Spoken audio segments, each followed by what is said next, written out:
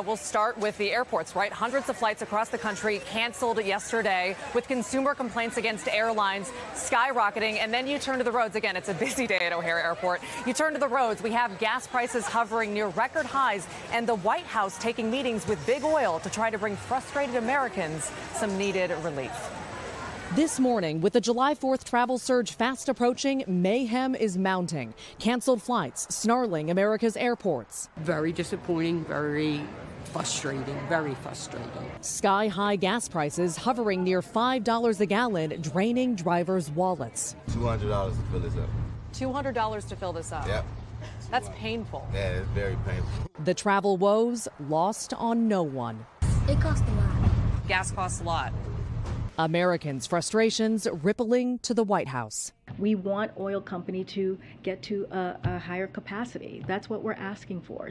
Thursday, Energy Secretary Jennifer Granholm meeting with big oil CEOs and doubling down on President Biden's demand that companies boost supply and pass savings on to consumers. This after the president called on Congress Wednesday to suspend the federal gas tax for three months. The American people, they need relief now.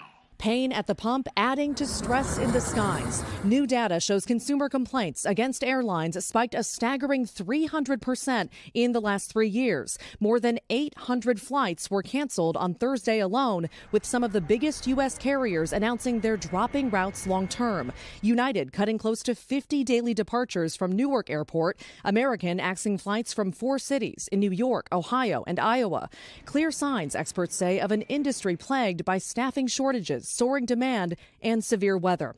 Cancellations stacking up as an estimated 11 million Americans are set to fly over the July 4th holiday, the highest total since the pandemic began. How much worse do you think this could get? There's no sugarcoating it. It's going to be a tough summer, and and consumers have to be proactive.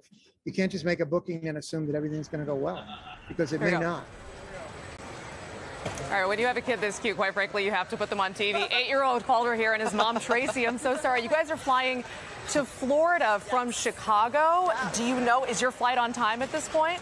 Oh, we're just checking in. I have no idea. I haven't even looked yet. This might be a rough moment. it seems to be okay? I don't know. Where's Tampa? I'm looking.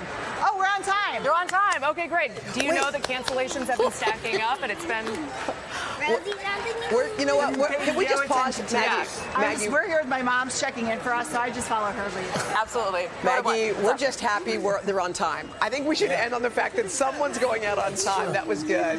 and no one's more excited about it than that Someone's going out on time. Calder right. wanted to say hi. All right. Thank you. Absolutely. Th thank you, Maggie. Um, they're getting out on time. You landed at 1 o'clock in the morning. Yeah. What up with that? What got, happened? Got about 1 a.m. My flight was canceled yesterday yeah. from Savannah, Georgia. I was down yeah. for a shoot, and flight was delayed, delayed, then canceled. Wasn't weather. The crew timed out. Oh, the that happens now because there are not enough people. Last flight, got a JetBlue out last Come night. on, you made so it. Of course you'd close, be here. I knew you'd be here.